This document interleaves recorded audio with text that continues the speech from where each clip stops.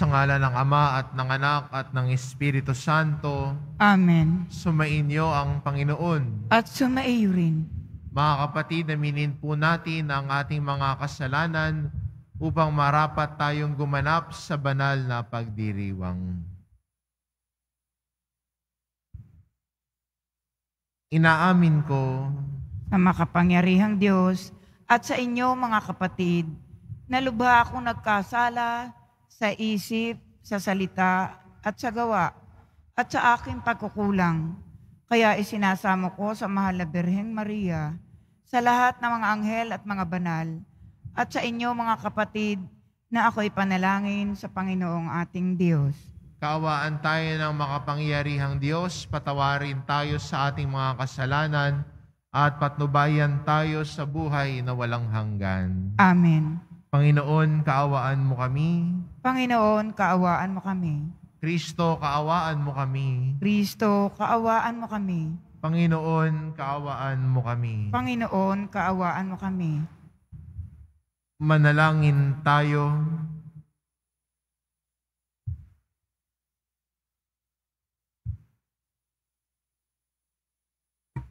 Ama naming makapangyarihan, ipakita mo ang iyong paglingap sa iyong pagantig sa aming kalooban upang ang pamumunga ng gawain mo sa amin ay maging mapakinabangan at ang mag- magpagaling mong katapatan ay aming mapangatawanan sa pamamagitan ni Heso Kristo kasama ng Espiritu Santo magpa sa walang hanggan. Amen. Magsiupo po ang lahat. Ang simula ng aklat ni Propeta Daniel. Nang ikatlong taon ng pamamahala ni Haring Joachim sa Huda, ang Jerusalem ay nasakop ni Haring Nabucodonosor. Pinabayaan ng Panginoon na bihagi niya si Haring Joachim at samsamin ang ilang kasangkapan sa templo ng Diyos. Lahat ng ito ay dinala ni Nabucodonosor sa templo ng kanyang Diyos-Diyosan sa Babylonia at inilagay sa silid na taguan ng kanyang kayamanan. Inuutos ng hari kay Aspenas, pinuno ng kanyang mga tauhan, na pumili ng ilang Israelitang kabilang sa, hangka, sa angkan ng mga hari at ilan sa angkan ng mga maharlika. Ang pipiliin nila ay yaong kabataan, walang kapansanan, makisig, matalino, madaling turuan at may kaalaman sa lahat ng sangay ng karunungan upang maging karapat-dapat na lingkod sa palasyo. Ang mga ito ay tuturuan ng salitang kaldeyo. Iniutos ng hari na sila'y paglaanan ng pagkain at alak araw-araw mula sa kanyang sariling pagkain at alak.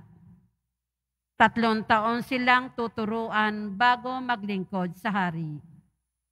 Kabilang sa mga ito sina Daniel, Ananias, Misael at Asarias, na pawang kabilang sa lipin ni Huda. Ngunit ipinasya ni Daniel na huwag tikman man lamang ang pagkain at alak na bigay ng hari upang hindi siya makakain ng mga bagay ng marumi ayon sa kautusan. Kaya ipinakiusap niya kay Aspenas na huwag silang pakanin niyon. Niloob naman ng Diyos na siya maka- makalugdan at pagbigyan nito.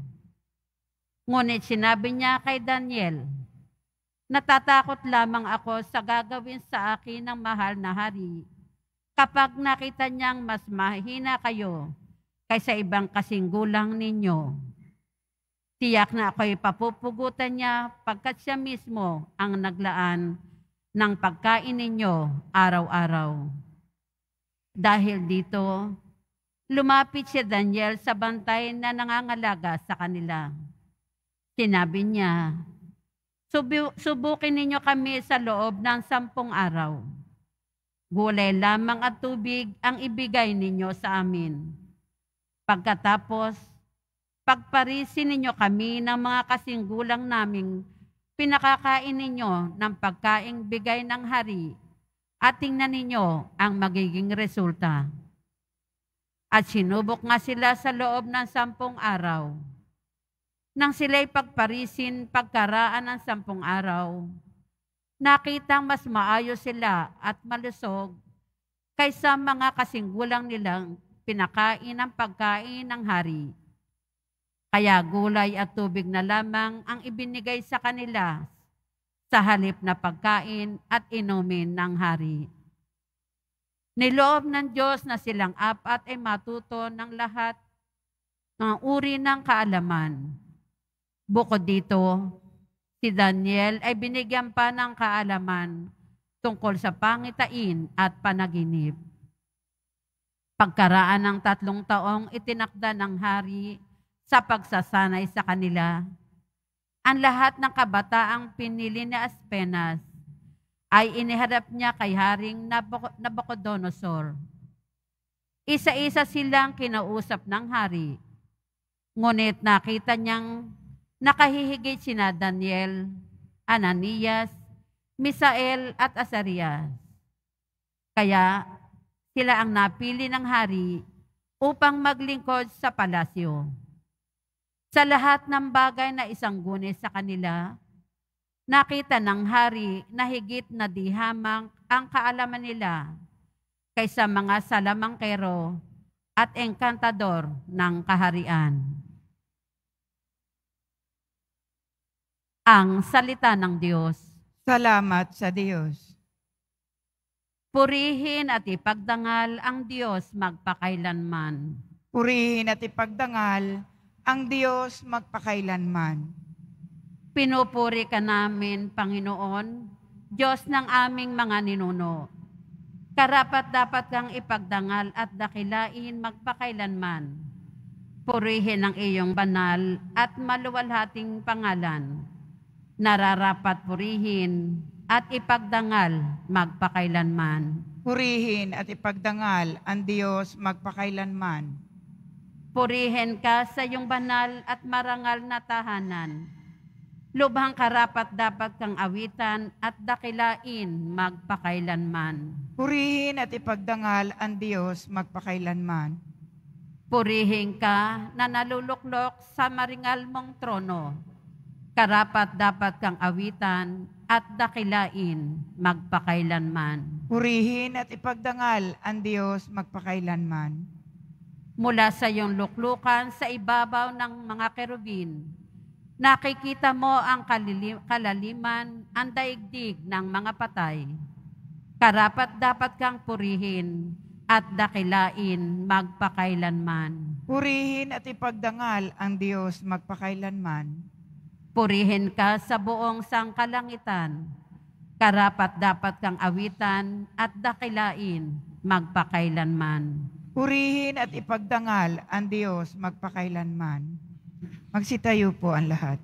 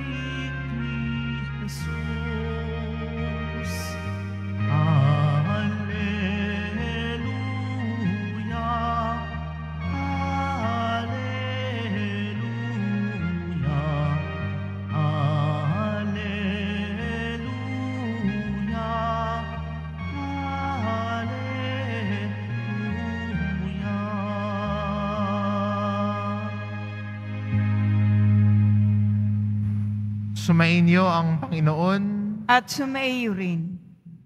ang mabuting balita ng Panginoon ayon kay San Lucas. Papuri sa iyo, Panginoon. Noong panahong iyon, nang tumingin si Jesus, nakita niya ang mayayamang naguhulog ng kani-kanilang kaloob sa lalagyanan nito sa templo. Nakita rin niya ang dukhang babaeng balo na naghulog ng dalawang kusing. Ang wika ni Jesus, sinasabi ko sa inyo, ang dukhang balong iyon ay naghulog ng higit kaysa kanilang lahat sapagkat bahagi lang ng di nila kailangan ang kanilang ipinagkaloob. Ngunit ibinigay ng balong iyon ang duk na dukhang dukha ang buo niyang ikabubuhay.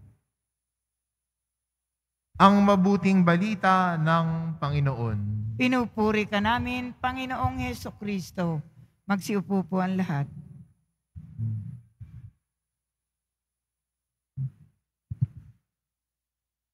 Magandang mapansin po sa Ebanghelyo natin, nang tinuro ni Jesus yung nagbibigay sa templo, ang sabi niya, yung iba, ang binibigay yung sobra. Pero yung babaeng balong kaunting kusing ang nilagay, inilala ni Jesus na ang binigay niya ay yung buo niya. Minsan iniisip natin, no, ang pagiging bukas palad ay may nabigay ako. Pero maganda mapansin sa ating ebanghelyo na ang taong tunay na bukas palad, hindi na sa laki ng ibinigay, kundi sa kakaunti ang tinira.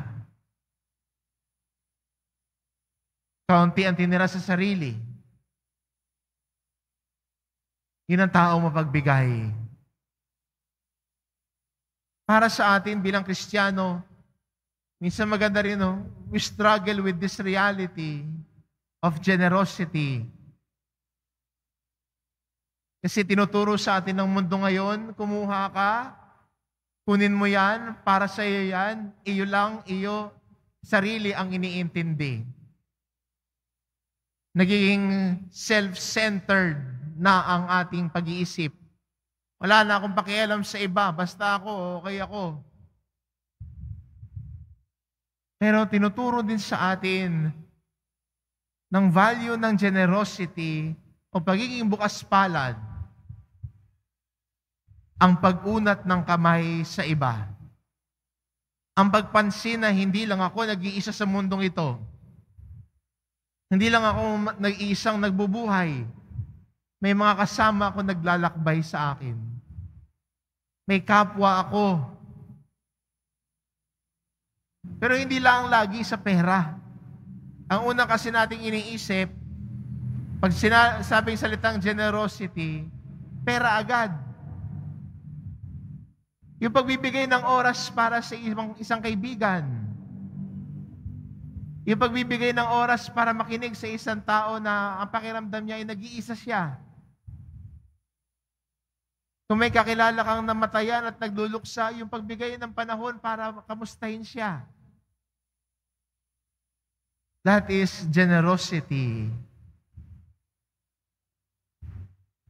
Pagbibigay ng sarili para sa iba. Siguro mag ito magandang paalala sa atin ng Diyos ngayon na kung tayo ay sumusunod sa Kanya, tularan din natin ang pagiging bukas palad ni Jesus.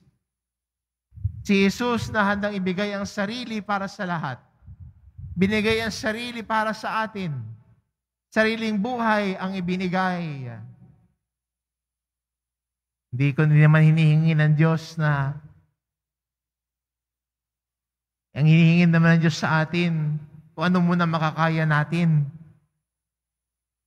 Kung sa tingin mo, tinatawag ka talaga ng Diyos ibigay ang lahat, edi sige. Yung buong buhay mo, buong oras mo, eh kung doon ka tinatawag eh. Pero sa ating lahat, ito'y paanyaya sa atin na lumago sa pagiging bukas palad at mapagkawang gawa. Pagbibigay ng sarili sa paglilingkod, pagbibigay ng oras para sa kapwa at para sa Diyos. Nawa yung ebanghelyo natin ay maging hamon sa atin. At pwede nating hilingin ng grasya sa Diyos at ang kanyang gabay at lakas na turuan niya na tayo at tulungan niya tayo na maging bukas palad uh, tulad niya.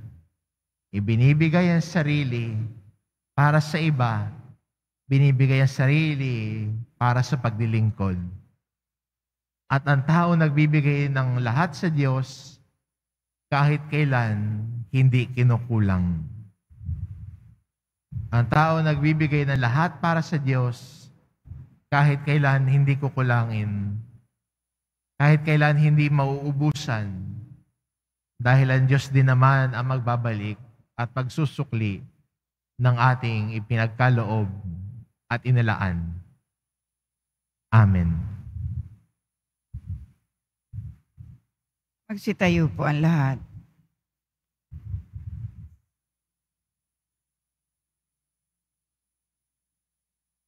Minamahal ko mga kapatid, dinahandog ng balo sa templo ang lahat-lahat sa Kanya. Pinapanig, pinapaging mapagpakumbaba tayo ng Kanyang pagiging mapagbigay.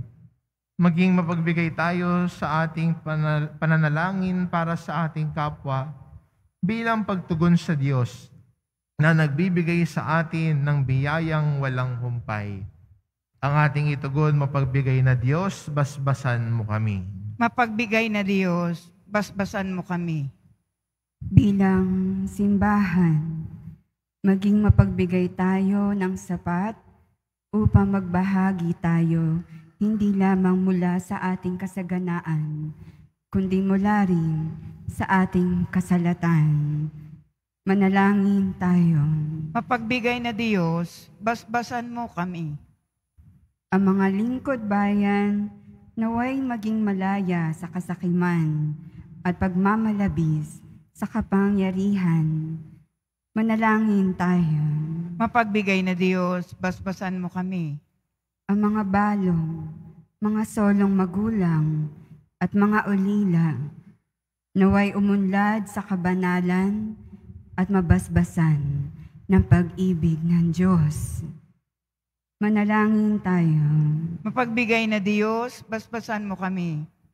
Ang mga mahisakit, naway maibahagi ang kanilang pagdurusa sa pagpapakasakit ni Kristo. Manalangin tayo. Mapagbigay na Diyos, basbasan mo kami. Ang ating mga yumaong kamag-anak at mga kaibigan, naway tanggapin sa walang hanggang tahanan ng Diyos. Manalangin tayo. Mapagbigay na Diyos, basbasan mo kami. Ama naming nasa langit, buksan mo ang aming mga puso sa mga nakapaligid sa amin upang makilala namin ang iyong presensya sa aming mga kapwa at mga kaibigan at matuklasan namin ang kaligayahan ng pagbabahagi ng aming buhay sa kanila. Hinihiling namin ito sa pamamagitan ni Kristong aming Panginoon. Amen. Magsiupo po ang lahat. Itong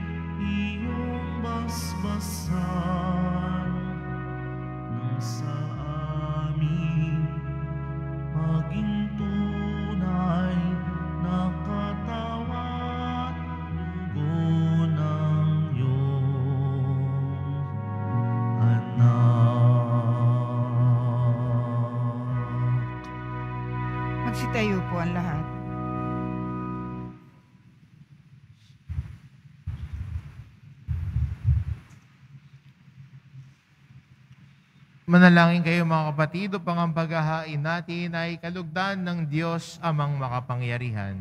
Tanggapin nawa ng Panginoon itong paghahain sa iyong mga kamay, sa kapurihan niya at karangalan, sa ating kapakinabangan at sa buong sambayanan niyang banal.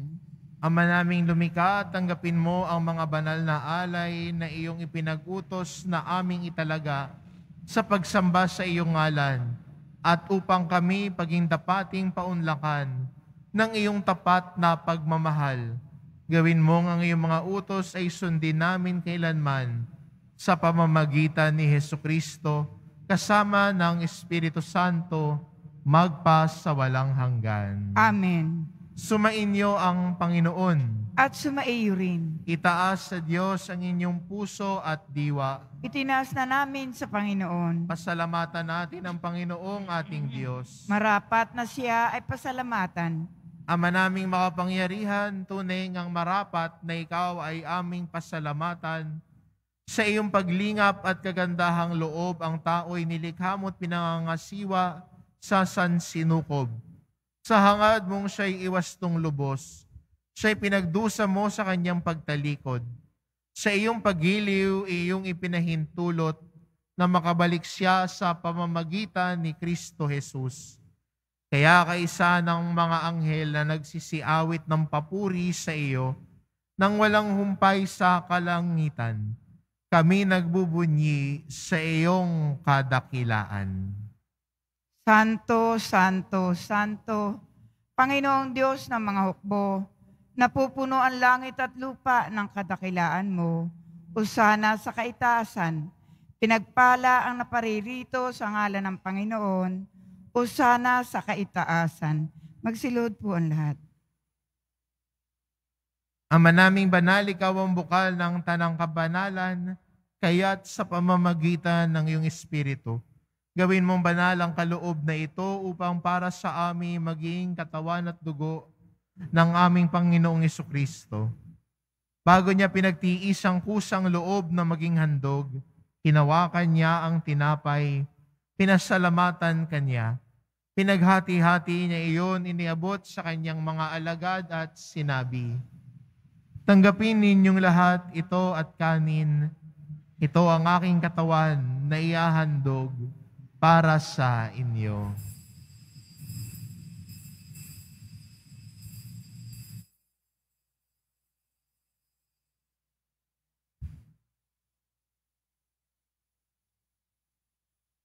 Gayun din naman ang matapos ang hapunan, hinawakan niya ang kalis. Muli kanyang pinasalamatan. Iniabot niya ang kalis sa kanyang mga alagad at sinabi, Tanggapin ninyong lahat ito at inumin. Ito ang kalis ng aking dugo ng bago at walang hanggang tipan. Ang aking dugo na ibubuhos para sa inyo at para sa lahat sa ikapagpapatawad ng mga kasalanan. Gawin ninyo ito sa pag-alala sa akin.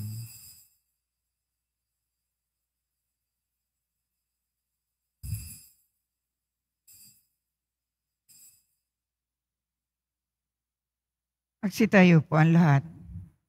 Ipagbunyi natin ang misteryo ng pananampalataya. Si Kristo'y namatay, si Kristo'y nabuhay, si Kristo'y babalik sa wakas ng panahon.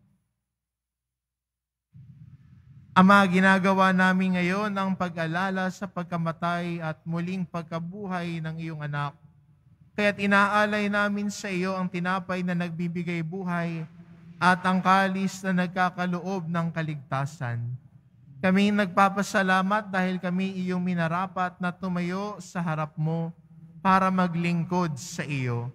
Isinasamo namin kaming magsasalo-salo sa katawan at dugo ni Kristo ay mabuklod sa pagkakaisa sa pamamagitan ng Espiritu Santo. Ama, lingapin mo ang iyong simbahang laganap sa buong daigdig Puspusin mo kami sa pag-ibig. Kaisa ni Francisco na aming Papa at ni Jose na aming Obispo at ng Tanang Kaparian. Alalahanin mo rin ang mga kapatid naming nahimlay na may pag-asang sila'y muling mabubuhay. Gayon din ang lahat ng mga pumanaw. Kaawaan mo sila at patuloyin sa iyong kaliwanagan. Kaawaan mo at pagintapatin kaming lahat na makasalo sa iyong buhay na walang wakas.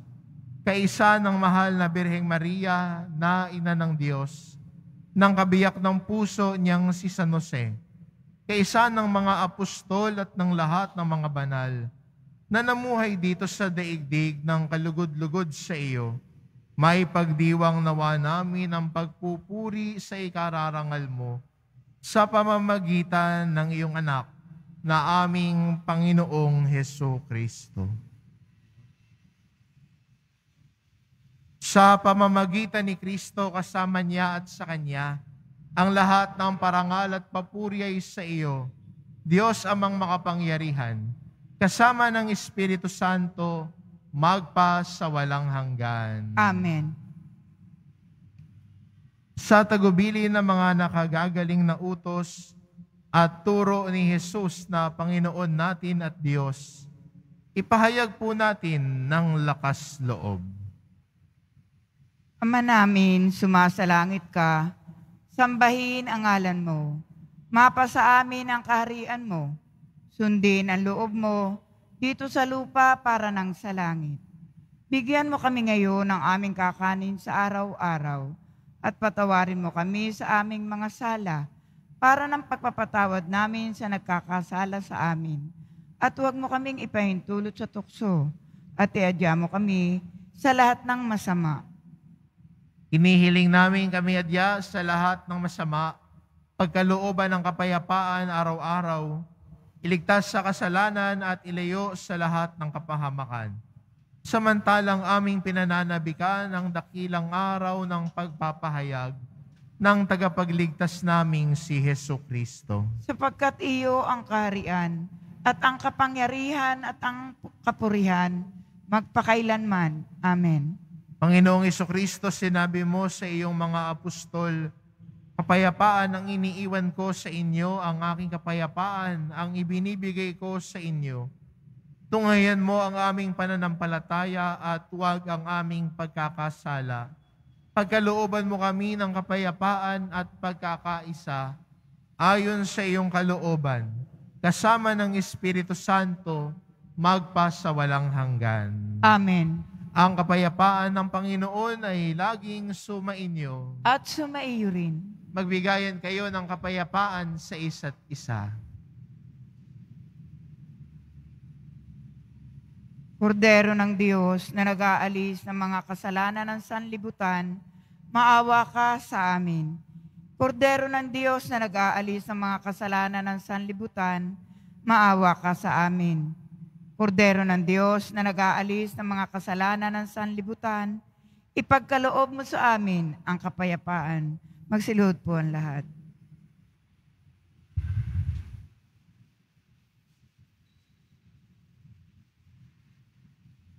Ito ang kordero ng Diyos.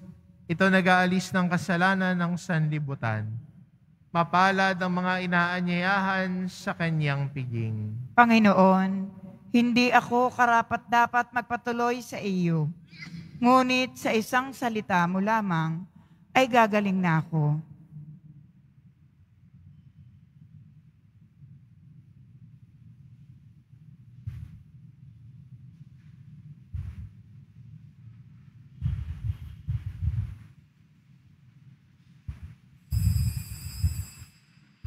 Para sa lahat ng tatanggap ng banal na komunyon, sasagot po tayo ng amen. Pagkasabi ng pari o ng lay minister ng katawan ni Kristo at isubo agad sa bibig bago umalis sa harapan ng pari o ng lay minister. Sumunod po tayo. Maraming salamat po.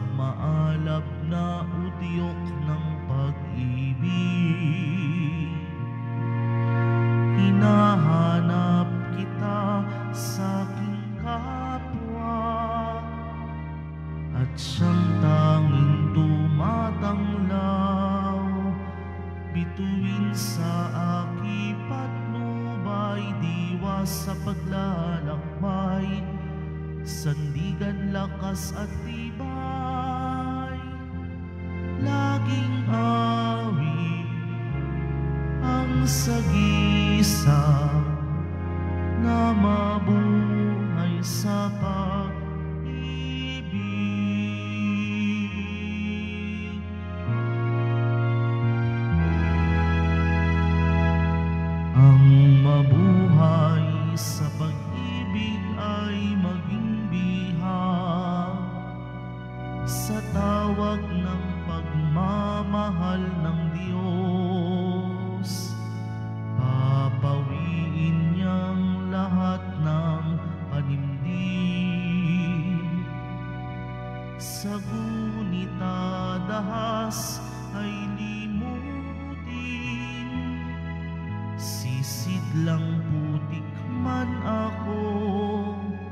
kayamanan ka ng puso ko, ang gantimpala ko'y ikaw, pag-asang natatanaw,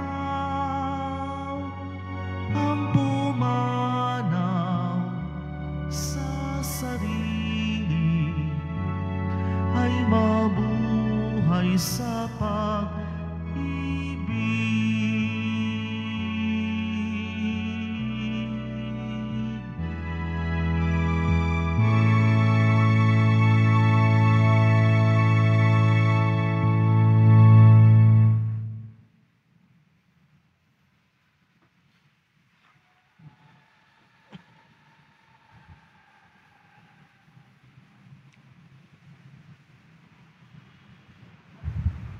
Announcement. Ang lahat po ay inaanyayahan, lalo na po ang mga ministry organization at samahan ng ating simbahan sa ating First Parish-wide Advent Recollection Series sa darating na November 28, 2023, Martes. Sa ganap na ikapito ng gabi dito po sa ating simbahan na may temang debosyon. Ang ating tagapagsalita sa araw na iyon ay si Reverend Father Hans Magdurulang, ang ating parochial vicar. Available pa rin po ang ating official na kalendaryo 2024. Maaari kayong magtungo sa Finance Office. Ang oras ng Finance Office ay ang mga sumusunod. Kapag lunis hanggang Huwebes at Sabado, ikawalo hanggang lima, ikalima ng hapon. Kapag biyernes at linggo, ikalima ng umaga hanggang ikawalo ng hapon. Meron po tayong mga booth na ma- malapit sa BPI, BPI Quezon Boulevard, and Intrans at Cardinal Sin Building. Pagkatapos ng misa, bibisikan po ang lahat ng mm, banal na tubig. Pinakikiusapan ang lahat na manatili lamang muna sa inyong mga lugar. Tanging sa Quezon Boulevard o sa Plaza San Juan lamang ang labasan ng lahat. Sumunod po tayo. Maraming salamat po sa inyong pagdalaw at pagsisimba sa Basilica Minor at Pambansang Dambana ni Jesus Nazareno. Magsitayo po ang lahat. Manalangin tayo. Ama naming mapagmahal, kaming pinagkalooban mo ng pagsasalo sa iyong kagalakan ay lagi nawang lumingon sa pinanggalingan nitong banal na pakikinabang upang kami wag mawalay sa iyo na aming hantungan sa pamamagitan ni Heso Kristo kasama ng Espiritu Santo magpasawalang hanggan. Amen. Mga kapatid, patuloy po nating ipagdasal ang mga minamahal na yumao at ang lahat ng mga kaluluwa sa purgatorio. Panginoon naming Diyos, Ama namin, Ikaw po ang dahilan ng aming pagsilang. Sa iyo galing ang aming hiram na buhay. Buong kababaang loob po kaming nananalangin at kami nagmamakaawang kalugdan mo po ang mga kaluluwa ng mga pumanaw na sa mundong ito. Sila naway magkamit ng buhay sa iyong piling. Alisin mo ang anumang mga karumihan ng kasalanan upang sila ay maging marapat sa iyong walang hanggang kalinisan. Iahon mo, mula, mo sila mula sa purgatorio at bigyan ng puwang sa iyong kaharian sa langit. Kapayapaan kailanman ang igawad ng may kapal sa mga yumaong nagsipanaw. Sila naway silayan ng iyong ilaw na walang hanggan. Amen. Mapanatag nawa sila sa kapayapaan. Amen.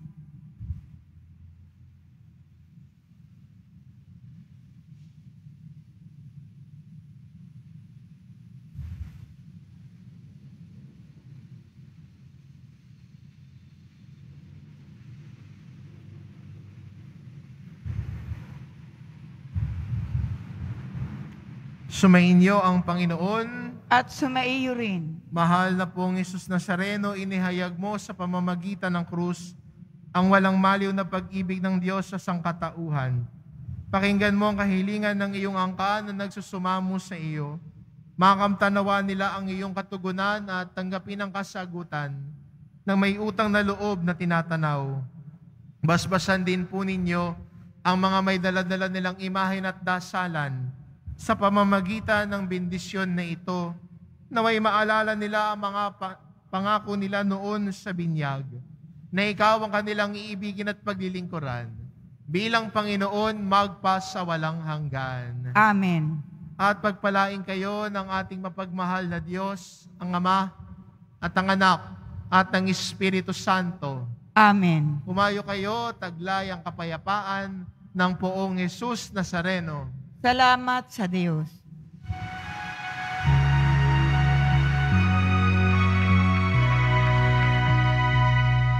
Nuestro Padre Jesús Nazareno, sinasamba ka namin.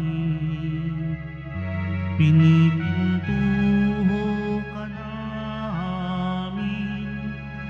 Aral mo ang aming buhay at kaligtasan.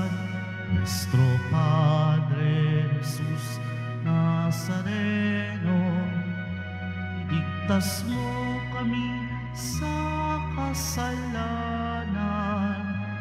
Ang krus mong kinamatayan ay sagisag ng aming kaligtasan. Nuestro Padre Jesus Nazareno, dinarangal ka namin. Nuestro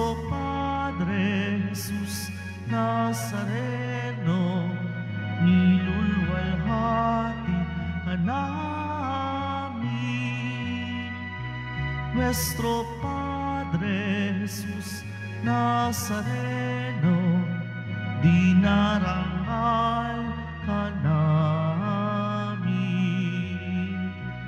Nuestro Padre Jesus Nazareno,